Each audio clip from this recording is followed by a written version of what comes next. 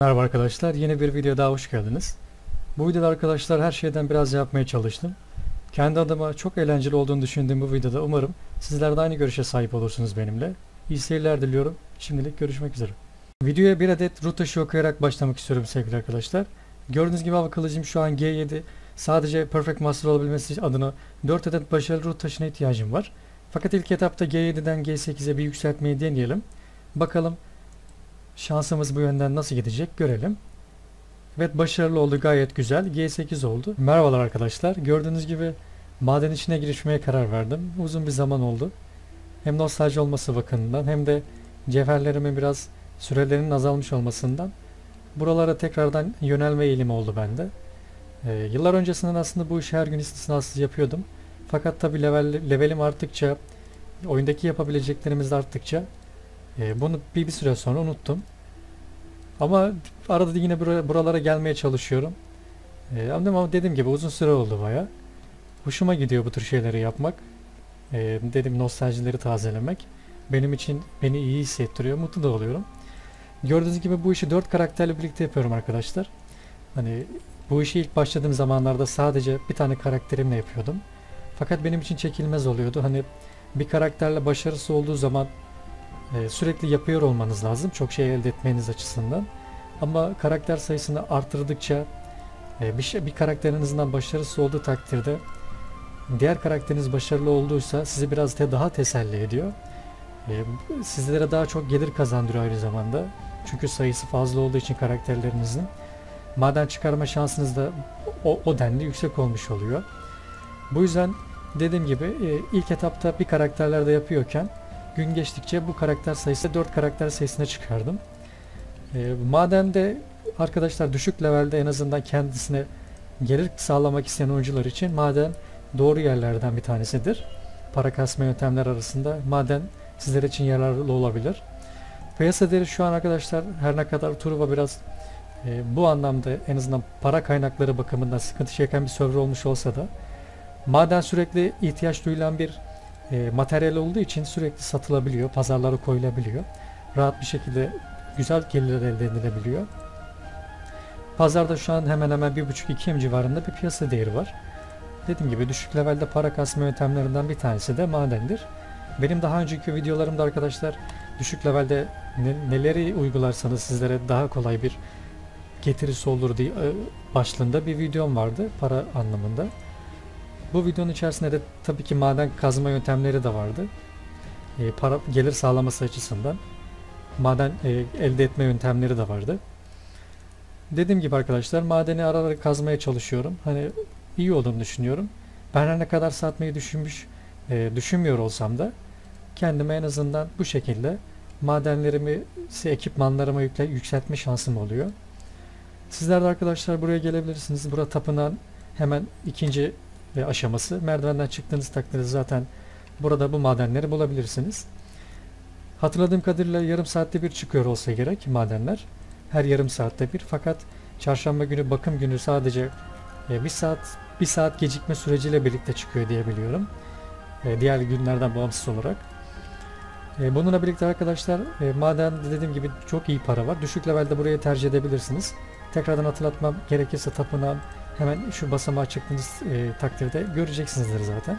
Haritayı küçülttüğünüz, küçülttüğünüz zaman arkadaşlar haritada yanan küçük yeşil bölme sizlere madenin olduğunu gösteriyor. Bu şekilde yanına gidebilirsiniz. Eğer imkanınız varsa e, farklı farklı karakterlere baş etme gibi bir şansınız varsa karakter sayısını yükseltebilirsiniz. Sizlere hem getiri bakımından çok olacaktır hem de e, sıkılmamanızı da sağlar. E, bir karakteriniz dediğim gibi başarılı, başarısız olduğu takdirde diğer karakterinizle devam edersiniz. Evet gördüğünüz gibi arkadaşlar bu madenimiz kayboldu. Ben tekrardan maden aramaya devam edeyim. Herhangi bir farklı bir maden bulursam tekrardan videoya girmeye çalışırım. Farklı bir C'de tekrardan aynı damarı buldum arkadaşlar. Benim ihtiyacım olan beyaz altın kabonoz damarı. Bunun dışındakileri kazma gereksinimi duymuyorum kendi adıma. Ama sizler de tabii ki kasabilirsiniz. Ee, bunları değerlendirebilirsiniz. Her bir damarın ayrı ayrı önemi var oyunda. Oyunda zaten boş olan hiçbir şey yok arkadaşlar. Her bir ekipmanın, materyalinin önemi var. Dediğim gibi ama ben bu madenleri kazma geri ödüyorum kendi adıma. Böyle şöyle kazmamı göstereyim arkadaşlar size artı 0 3000 puanı var. Artı 1 ol, olması olması için geri kalan sadece 3000 puana ihtiyacım var.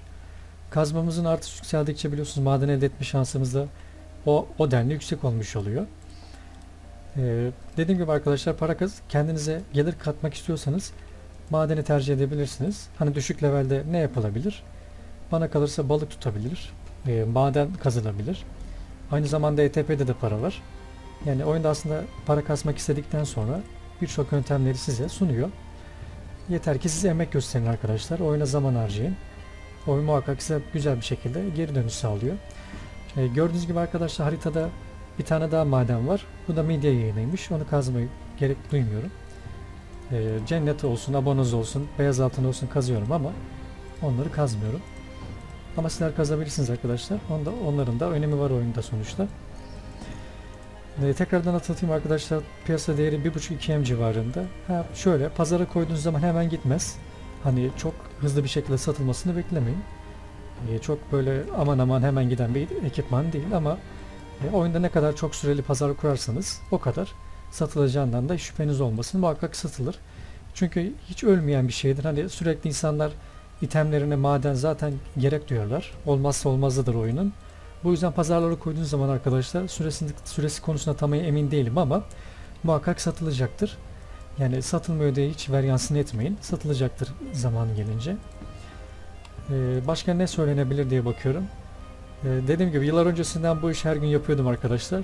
Sadece bir karakterle yapıyordum ama zaman geçtikçe bu sayı arttı. Ee, daha iyi oldu benim için. Sizler tabi bir karakterle de yapabilirsiniz, iki karakterle de yapabilirsiniz. Tamamen sizlerin inisiyatifine bağlı. Ha şöyle olur, bir karakterle yaparsınız tabi dört karaktere göre daha e, geç olur ama olur yani. Sizleri tatmin edecek sonuçlara imza atarsınız. Bunu hiç e, göz ardı etmeyin. Siz yeter ki emek gösterin arkadaşlar. Dediğim gibi güzel sonuçlara imza atacaksınızdır. Daha fazla ne söylenebilir diye bakıyorum arkadaşlar. Her şeyi söylediğimi düşünüyorum. E, bu anımı da sizlerle de paylaşmak istedim. Epey bir uzun zaman oldu tekrardan hatırlatmam gerekirse. Benim için hem nostalji tazelemek hem de güzel bir anı paylaşmak gibi bir şey oldu bu. E, ben tekrardan arkadaşlar bu işe devam etmek istiyorum. Süresi konusunda pek fazla emin değilim ama yaklaşık bir, bir saat, bir buçuk saat ya da iki saat ne kadar artık kendime olanak sağlarsam o kadar kazmayı düşünüyorum. E, sonunda ise arkadaşlar ufak bir değerlendirme yapıp bunları dediğim gibi dönüşüm işlemlerini de tekrardan yaparız. Bakalım kendimize bu yönden ne kadar bir gelir sağlamış olacağız. Hep birlikte görürüz. Size tekrardan keyifli seyirler diliyorum arkadaşlar. Ben kazmaya devam edeceğim. Bakalım sonucunda ne gibi bir şeyler bizlere bekler olacak. Hep birlikte görün. Bu arada arkadaşlar Turbo Sarı'nda eğer oynuyorsanız Bay Metanet adlı arkadaşımız e, Onem karşılığında eldiven düşürüyormuş Kızıl'da. Eğer düşük levelde eldiven e, elde etmek gibi bir imkanınız yoksa dediğim gibi bu arkadaşımıza eğer PM atarsanız size Onem karşılığında eldiven düşürecektir. Maden kazma işinin en nihayetine bitirdim arkadaşlar. Sizler de biliyorsunuz ki bunları dönüştürme yapabilmek için taşa ihtiyaç duyuluyor. Artı sıfırdan artı 3'e kadar olmak üzere. Benim de elimde herhangi bir taş stoğu olmadığı için bunu karşılayabilmek adına solo map'te aldım. Kısacası arkadaşlar bir sonraki dakikalarda sizlere metin kesimleri bekliyor olacak. İyi seyirler diliyorum.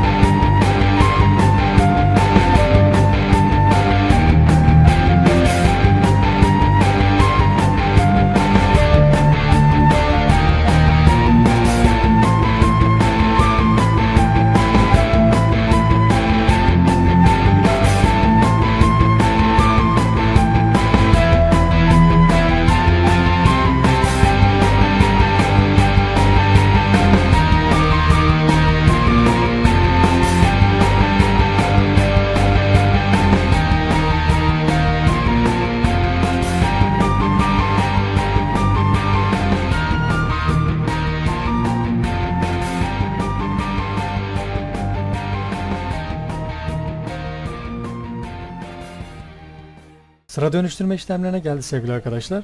Envanterimde görmüş olduğunuz kadarıyla epey miktarda bir cevher birikimim var. Biraz önceki izlediğiniz metin kesimlerinin sonucunda ise yaklaşık 45 tane de taş birikimim oldu. Artı sıfırdan artı 3'e kadar olmak üzere. Şimdi bunları ilk etapta arkadaşlar e, beyaz altın cevherini dönüştürerek işe başlamak istiyorum. İki tanesini dönüştürmek istiyorum arkadaşlar. Devamında ben hepsini dönüştürdükten sonra videoya girerim. Sıkılmamanız açısından. Hemen şu iki tanesini dönüştürelim arkadaşlar. Bakalım ne olacak görelim.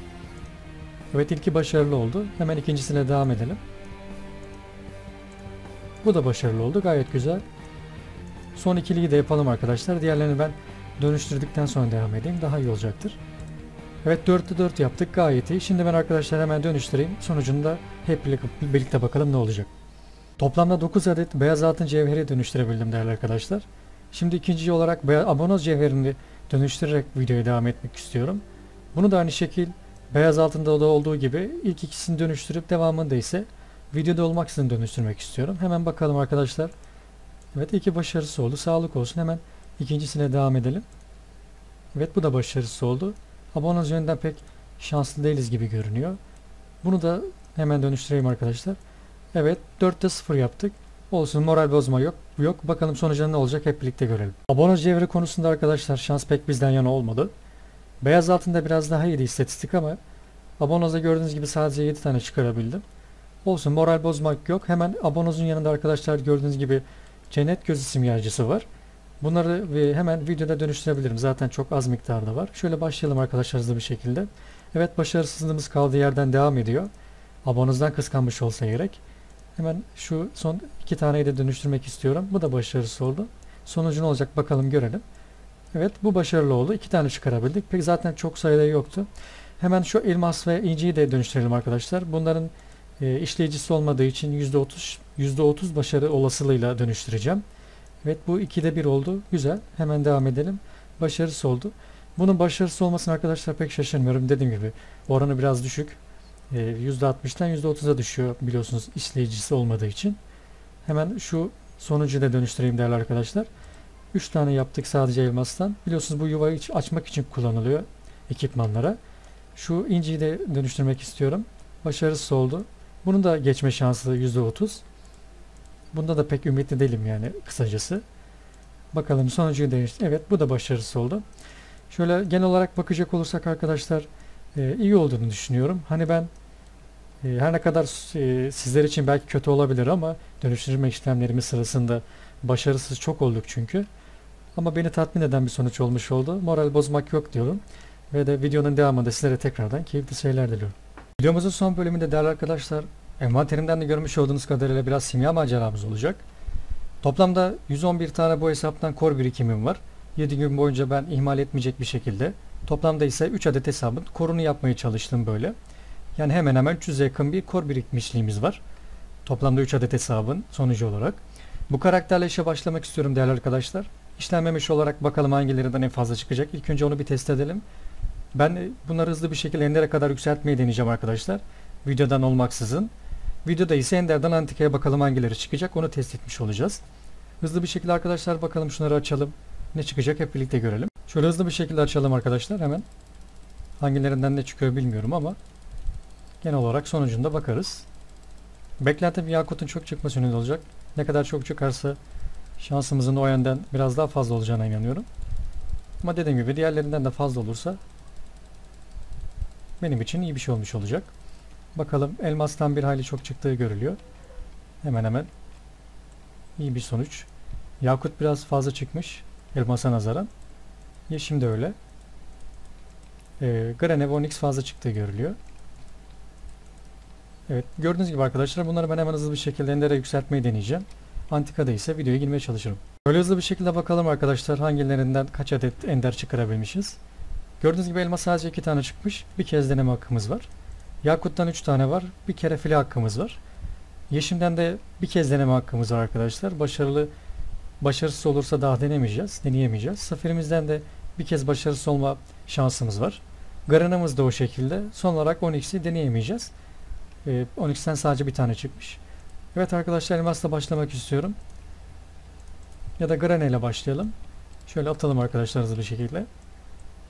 Evet başarılı oldu. İlk antikimizi Grana'dan çıkarmış olduk. 12'si deneyemeyeceğiz dediğim gibi. Saf ile devam edelim hemen. Evet bunda da başarılı oldu. Gayet güzel. Elmasla mı yeşimle mi? Elmasla devam etmek istiyorum. Evet bu da başarılı oldu. Şu an 3 tane antikaya ulaşmış olduk. Ee, yeşimle de denemek istiyorum şöyle. Evet bunda da başarılı oldu. Gayet güzel. Yakut da başarılı olursa 4'te 4 yapmış olacağız sanırım. Pardon 5'te 5 yapmış olacağız. Evet Yakut'ta bir kere başarısız olma hakkımız var. Bu iyi bir şey. Başarısız oldu. Umarım o başarılı olur. Evet bu başarılı oldu. Gayet güzel. Sanırım e, 111 tane korun sonucu olarak bu karakterden iyi antika çıkarmış gibi görünüyorum. Şöyle bakalım arkadaşlar hangilerinden kaç tane antika elde etmişiz. E, antika ejderha granisi bir tane çıkmış. Güzel olmuş. Safir'den bir adet mevcut. Yeşim'den bir adet mevcut. Yakut'tan da bir adet mevcut. Elmas'tan da bir, bir adet mevcut. Toplamda da 5 tane antikaya ulaşmış olduk. Bu karakterimiz arkadaşlar simya yönünden şanslı gibi görünüyor. Bakalım diğer hesaplardan durumumuz ne olacak hep birlikte görelim. Bu karakterle de hızlı bir şekilde yükseltmeye deneyelim değerli arkadaşlar. Savaşçıda da olduğu gibi bu karakterimizde de 111 tane kor birikmişliğimiz var. Hemen arkadaşlar bakalım işte işlenmemiş olarak hangilerinden kaçar adet çıkacak. Bakalım hemen hızlı bir şekilde. İlk olarak başlamak istiyorum şöyle. Evet bu zamana kadar sadece elmas bir tane çıkmış. Ee, devamı bakalım nasıl olacak. Evet. Sonralara doğru açıl açılmış gibi görülüyor. Altta görüyorum yakut biraz fazla çıkacak gibi. Evet sonuncu da açalım şöyle.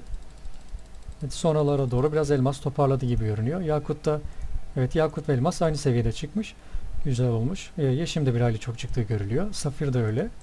Evet Onyx ve Grena savaşçıya nazaran biraz daha çıkmış gibi görülüyor. Ben bunları tekrardan yükseltmeyi deneyeceğim arkadaşlar. Ender'de tekrardan görüşmek üzere. Enderlerimize bakalım arkadaşlar hızlı bir şekilde. Elmas'tan 4 adet çıkarabilmişiz. Gayet güzel. Yakut'tan bir kez deneme hakkımız var. Elmas'tan da bir kez fire hakkımız var. Safir'den 4 adet çıkmış. Bu da çok güzel. Grana'dan bir kez deneme hakkımız var. Onyx'te de savaşta da olduğu gibi. Ender deneyemeyeceğiz ne yazık ki. Hemen arkadaşlar şöyle Grana'yı yükselterek işe başlayalım. Sonra devamında da son karakterimize devam edelim. Bakalım ilkini deniyorum. Evet ilk antikaya ulaşmış olduk. Grana'yı yükselterek. Hemen ikinci olarak Safir ile devam etmek istiyorum. Evet bunda da ikinci antikamıza ulaşmış olduk. Yeşimden bakalım ne olacak. Evet bunda da ulaşmış olduk. Gayet güzel. Elmas deneyelim arkadaşlar hemen. Evet ilki başarısı oldu. Bu da başarılı oldu. Çok güzel. Antikanın başarısı olma ihtimali yok arkadaşlar. Tekrar deneyemeyeceğiz çünkü. Umarım bu geçecek. Evet bu da geçti. Gayet güzel. Sanırım e, savaşçıda olduğu gibi bunda da 5 tane antika çıkarmış olduk. Son karakterimizde kaldığımız yerden devam edelim değerli arkadaşlar. Son karakterimizde arkadaşlar 105 tane işlenmemiş simyamız mevcut. İki, diğer iki karakterden sizler de biliyorsunuz ki simya önünden yüzümüz bir hali gülmüştü. Umarım bu karakterimiz de onlara eşlik eder ve de videomuzu güzel bir şekilde neticelendirmiş oluruz. Hemen hızlı bir şekilde yükseltelim arkadaşlar. İlk etapta tabii ki bunları açmamız gerekiyor. Bakalım en fazla hangisinden çıkacak. Tabii ki beklentim Yakut'un çok çıkması yönünde olacak. Her zamanki olduğu gibi. Evet bu karakterimiz elmas konusunda biraz güzel bir başlangıç yaptı gibi görülüyor. Diğer iki karakterimiz biliyorsunuz sonralara doğru toparlamıştı elmas konusunda. Acaba Yakut ne kadar çıktı?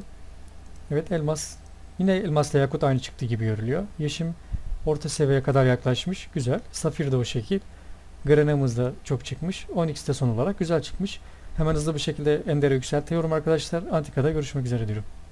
Elmas 3 tane çıktı arkadaşlar. Yakut da 3 tane çıktı. Yeşim 2 adet mevcut. Safir'de de 2 adet var. Grena ve Onyx'te ne yazık ki çıkaramadık. Antika'ya deneyemeyeceğiz anlamına geliyor. Safir ile işe başlamak istiyorum arkadaşlar. Bakalım bir de bir yapabilecek miyiz? Hemen şöyle bakalım. Evet ilki başarılı oldu. Çok güzel. Yeşimle devam etmek istiyorum. Bu başarısız oldu. Sağlık olsun. Elması hemen yükseltmeyi deneyelim. Evet bu da başarısız oldu. Bunu denemek istiyorum. Evet bu da başarısız oldu. Bakalım hangisini denemedik. Yakut kaldı. Umarım bu başarılı olacak. Evet başarısız oldu. Bu da başarısız oldu. Hangilerinden çıkarabildik? Ee, sadece Safir. Safir'den çıkarabilmişiz. Olsun. Moral bozmak yok. Ben genel hepsini bir karakterde toplayayım arkadaşlar. Bakalım hangilerinden kaçar adet antika elde etmişiz hep birlikte görelim. Genel toplama hızlı bir şekilde bakalım arkadaşlar. Gördüğünüz gibi elmastan 2 adet antikaya ulaşabilmişiz. Yakut'tan da 2 adet. Yeşim'den de 2 adet var. Safir'den 3 adet çıkarabilmişiz. Granny'den de 2 adet ve son olarak Onyx'ten ne yazık ki çıkaramadık. Yanlış hatırlamıyorsam işte deneyememiştik zaten. Evet arkadaşlar simya konusunda kendimize epey bir bütçe kazandırmış olduk. Ee, hemen hemen 1T yakın bir paramız olmuş gibi görülüyor. Pek bilmiyorum piyasasını ama 1T yakın olduğunu düşünüyorum. Evet arkadaşlar videomuzda bu şekilde neticelendirmiş olalım. Bu videoda beni yalnız bırakmadığınız için, konuğum olduğunuz için sizlere çok teşekkür ediyorum. Ve her şey gönlünüzce olsun diyorum. Kendinize iyi bakın, hoşçakalın, sağlıcakla kalın.